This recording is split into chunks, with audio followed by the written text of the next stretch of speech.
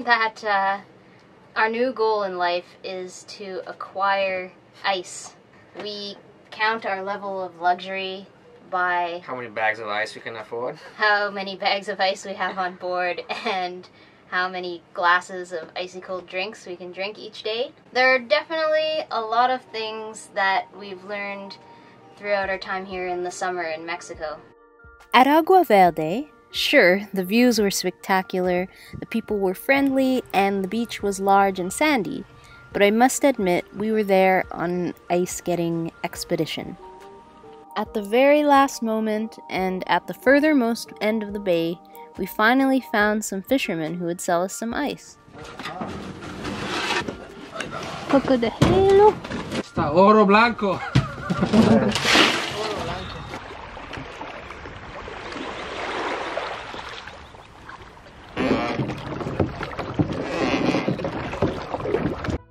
We left Agua Verde aiming for Bahia Candeleros. Another new discovery we've had with the Mexican heat is the importance of shade.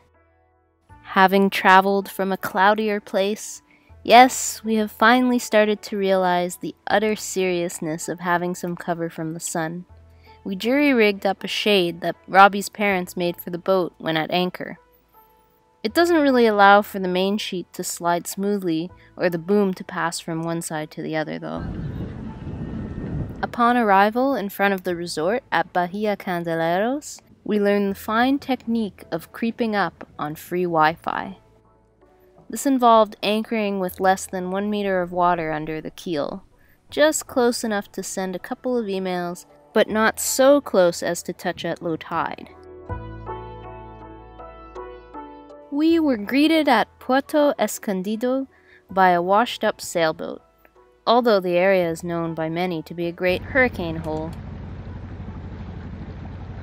The mooring ball field is large and mostly empty. We took one for the night, stopped at the fuel dock for water, did laundry, and took a shower. These are all included in the mooring price. It was also at this point that we started sleeping in the cockpit, the only way to stay cool at night.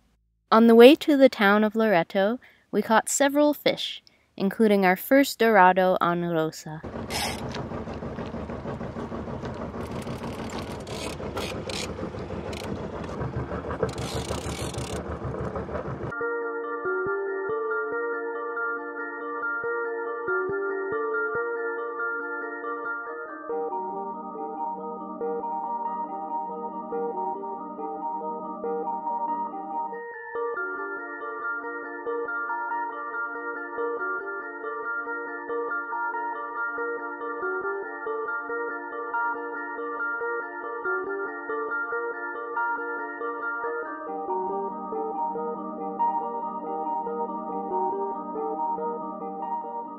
Needless to say, this beautiful fish made some beautiful fillets.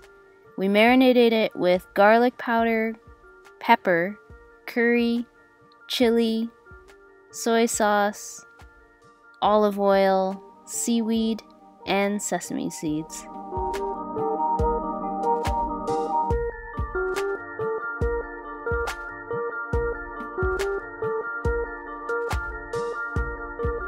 Usually a fish that dries out easily, stayed nice and moist in the solar cooker.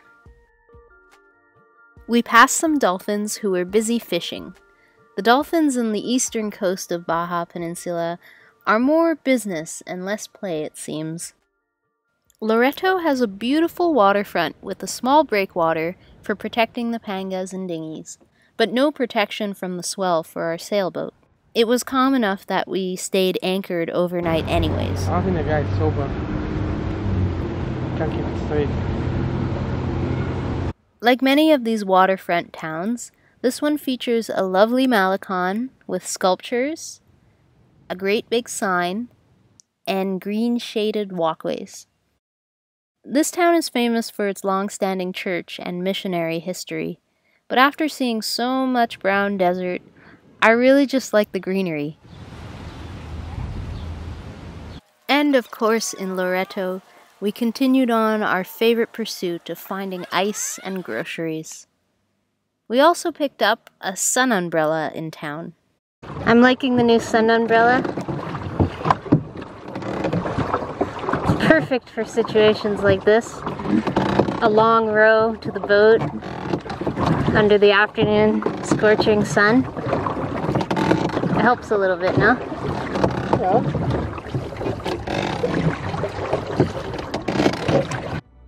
The water was amazingly clear, so we set off for the nearby islands to dive into the water. The umbrella was doing a fairly good job in the light breeze. We arrived at V Cove just as the sun was setting.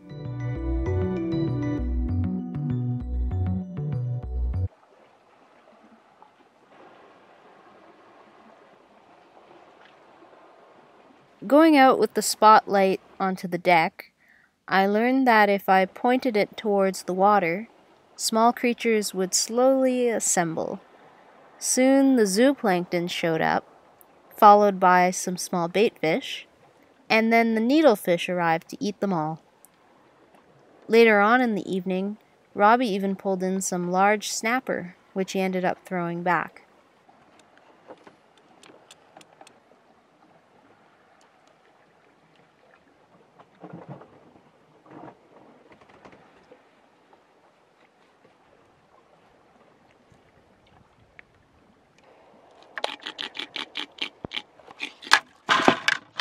We both learned early the following day that bees are attracted to our buckets of fresh shower water.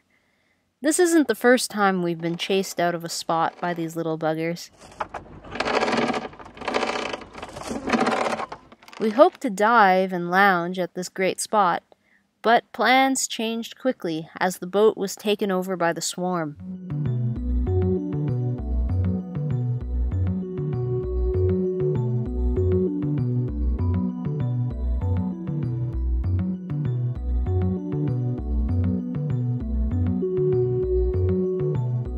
Isla Carmen was pretty large and barren. We tried to find the wreck at Bahia Salinas, but we were unsuccessful. We made our way to Isla Monserrat instead.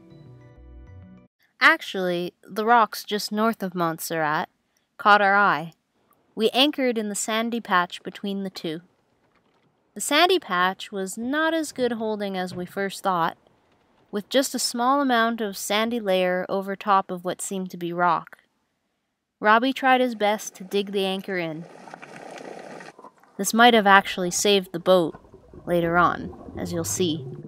There were lots of teeming fish in the reefs surrounding this area pompano, surgeonfish, goatfish, grouper, parrotfish,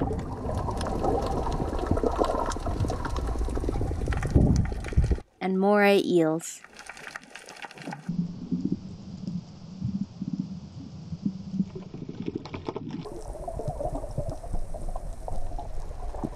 Even some friendly rays.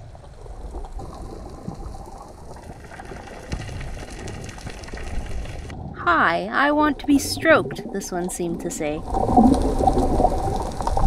And this one as well. But we were thinking of Steve Irwin, as we often do when we see stingrays, so we kept our hands to ourselves. We've had a fellow sailor ask us if we've tried sangrita here in Mexico yet.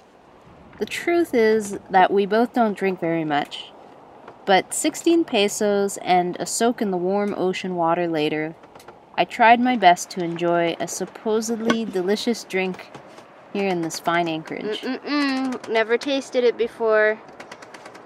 What will less than a dollar US get me? And I've been hanging it in the salt water for a little bit, try and make it a little bit cooler. Except today the water's been particularly warm. Yeah, the, the water here is like a hot tub here. I soon learned that the drink has a spicy and salty smack to it. But I enjoyed the wonderful sunset with this mouthful of warm, salty fruit drink on my sunburned lips, anyways. It was a tropical paradise, ideal location just several hours ago. a strong squall came in. It took about five minutes. Well, actually, we could see some storm clouds in the distance. We could see some lightning. Like, oh, the wind is indicating it's just far away and going by. But it took about five minutes and all hell broke loose. Uh, we were anchored between two little reefs, two little islands with two little reefs in a nice snug spot. The holding wasn't that great, and we just got the hell out of there, which was interesting to say the least. And now it's really sloppy, and we're heading into a, a nicer, nicer anchorage, Candeleros. Better holding,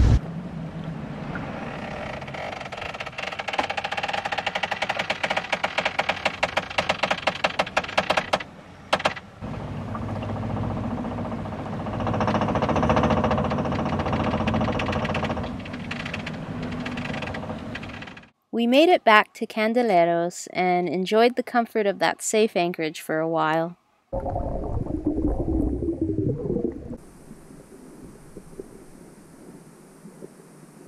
It's a stonefish. And I must put my hand on him. I was like, what's that? I was like, I was like, that's squishy, that's a fish. Ooh. I know, he like raised his spine straight away. He was like, don't you dare touch me. It's scary because there's a resort nearby and all the people are stepping in the water. Step on that guy, ooh, you have a real bad day. Robbie used his night fishing skills to catch us some food, some of which we hooked and threw back.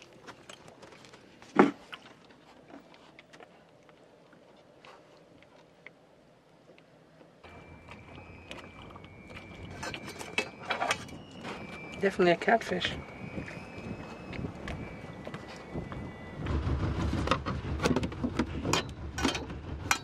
But it was finally time to continue heading north, as our sailboat would not be sitting out the rest of the hurricane season here. We'd made friends with another vessel heading north, and shared some delectable Dorado with them. Eh, Woo!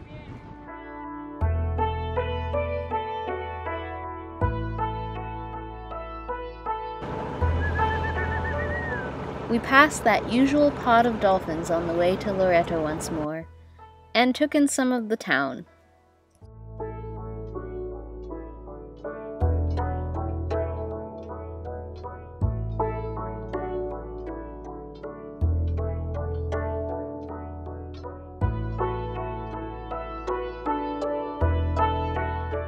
But so much more of the Sea of Cortez lay ahead of us. So join us next video to find out what we found.